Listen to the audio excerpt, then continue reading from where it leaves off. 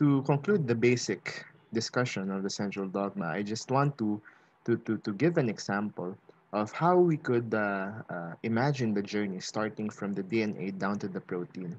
And um, I, am doing this because I noticed that in my previous recordings, I wasn't really that uh, uh specific with the letters, uh, how they transform from one step of the central dogma to another. And, and uh, I just want to, to, to, to record this to make things clear.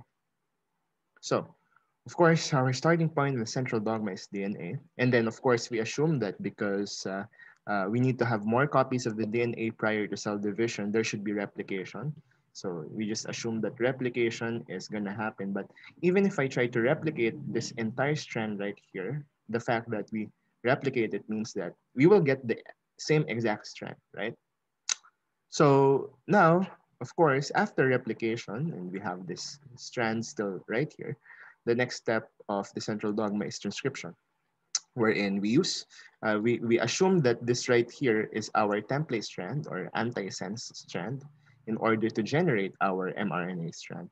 That's why notice um, I started with 3' end for my DNA because I know that when I make my RNA strand, elongation should be, uh, and I taught this, right? Elongation should follow the direction 5' prime to, to, to 3 prime. Actually, I don't know what's going on with the, uh, I think I wrote something here, but let me just clean this up.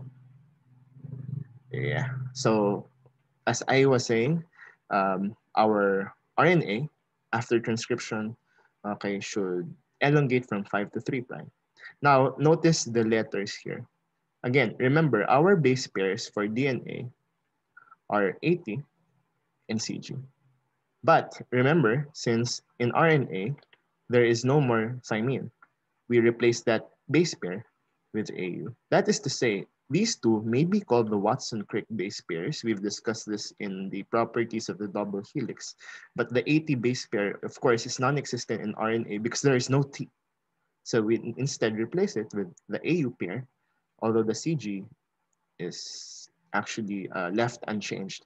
So that is to say, if I have T from the DNA, we know that what's supposed to be paired to that is A. Now, is there an A in RNA? Of course. So for, for every T in DNA, you convert that to A. So notice that in every thymine, I write in my RNA equivalent as A. A, where's T? A, A, yeah. So every T has been converted to A. But this time, uh, since, okay, for example, I have A. In DNA, I'm supposed to pair A to T, right? But again, in RNA, we replace that with U. That means for every A in the DNA, when I write the RNA equivalent, I should instead write U. U, U, U. Uh, all of this would be U, U, and that's it, okay? So, so far, uh, I hope we're good with this. And then, of course, since the CG base pair is constant in both DNA and RNA, it's very easy to understand that for every G, we have C. For every C, we have G. So as you can see, we just, you know, follow all of it. Nothing really special at this point, okay? So the moment that I finally, you know, transcribe all of this, into the RNA, remember that, of course, depending on the question, it may the one you have here may be already the mRNA, but of course, it could be the hnRNA if this was a eukaryotic example. Okay. And of course, uh, since eukaryotic RNA has a lot of introns, we have to remember that introns are going to be removed later on after splicing. That is to say, if I successfully splice this hnRNA, if we assume this is hnRNA, I'm going to get rid of all of the introns. And then the remaining exons, I will just write straight up. So as you notice, we now have only exons in our final mRNA sample, ACC, GUA, UAC, GGC, GGG. Okay, and of course, uh, since this is already like the entire coding region, all we have to do in translation is to, uh, again, we should get our 64 codon table. uh, I, I, would be providing a link below. And then all you have to do is to find the codons for uh, this. I mean, the code, these codons on that table. So ACC, GUA, UAC, GGC, GGG. And then uh, I already did that before recording this. So ACC actually stands for thymine, GUA for valine, UAC for tyrosine. Both of these are degenerate. Um, they are both glycine.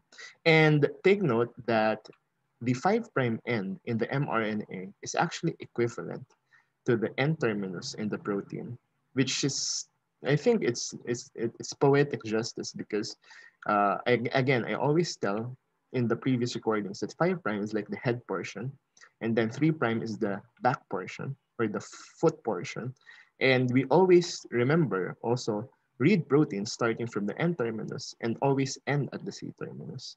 Okay, so they are like parallels. The five prime end is like our N terminus equivalent, and the three prime end is our C terminus equivalent.